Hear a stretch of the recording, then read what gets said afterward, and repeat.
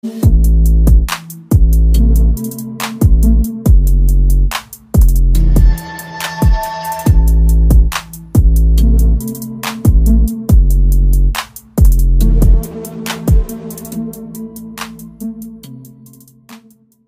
दोस्तों, आज मेरा दिल आ गया है इस वाले शू पे, जिसकी डिटेल्स आज मैं आपको बताने वाला हूँ। दोस्तों, आज मैं आपको बताने वाला हूँ न्यू बैलेंस के न्यू शू अल्फ़ा इंडस्ट्रीज़ पाँच के बारे में, जिसकी कलर ग्रेडिंग ने मुझे पर्सनली सम्मोहित सा कर लिया है।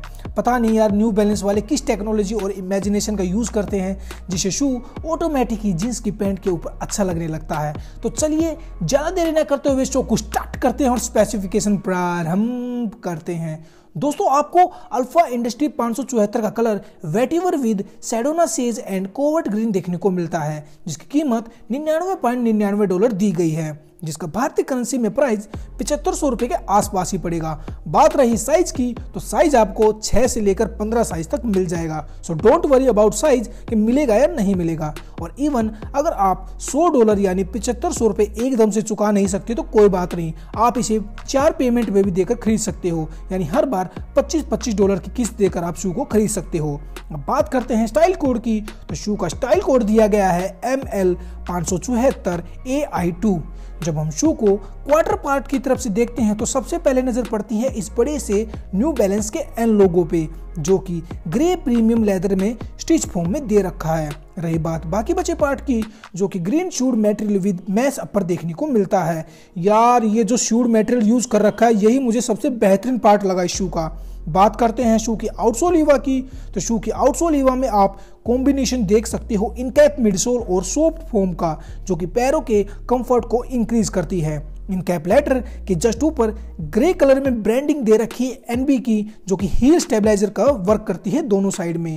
और इस एनबी के जस्ट ऊपर हील काउंटर पार्ट पर लिखा मिल जाता है ए लेटर जो कि अल्फ़ा इंडस्ट्रीज़ को शो करता है। और इस वाले हिस्से में ग्रे जाली के साथ साथ ग्रे लेदर का वर्क देखने को मिलता है, जिसे बड़े स्टाइल से डिज़ाइन किया गया है। और इसी साइड स्टिकर लगा रखा है कोडियोर का, और चलते हैं शू की दूसरी साइड जहाँ पर एज यूजल सेम स्पेसिफिकेशन देखने को मिलती है विद बड़े से एल लेटर के साथ। शू की इंसोल ऑरेंज कलर में दी गई है, जिस पर प्रिंट कर रखा है ए लेटर और अल्फ़ा इंडस्ट्रीज़ और इवन लिखा मिल जाता है शू फॉर ट्रेनर टाइप बात करते हैं टंग की तो टंग व थ्रोट दोनों का कलर हल्के ग्रीन में देखने को मिलता है, जिस पर स्टिकर लगा रखा है न्यू बैलेंस लेटर और अल्फ़ा इंडस्ट्रीज़ का, और पाँच की ब्रांडिंग तो अलग से ही दिखाई देती है। शू की टॉप लाइन व लेस का कलर व्हाइट दिया गया है। अब बात करते हैं टो बॉक्स की। तो टो बॉक्स पर फुली फुली जाली का वर्क दिया गया है, जो कि वेंटिलेशन का बहुत ही बढ़िया वर्क है। और टो टिप शूड से, यानी टो टिप शूड मटेरियल में देखने को मिलती है। और सबसे लास्ट में हम चलते हैं रबर आउटसोल की तरफ़, जिसका कलर ब्लैक दिया गया है और ट्रैक्शन पैटर्न भी कमाल ही है। तो अब बात करते हैं मेरे पॉइंट ऑफ़ व्यू की। तो शू की सिंपल सिटी ने मुझे पर्सनली अट्रैक्ट सा किया है, जिसे मैं 10 में से साढ़े नौ नंबर देना चाहूँगा। शू की डिटेल्स पर न्यू बैलेंस कंपनी ने काफ़ी अच्छा कवर किया है as comparison to Nike company. जो कि रबर आउटसोल में थोड़ा डामाडोल सा दिखता है।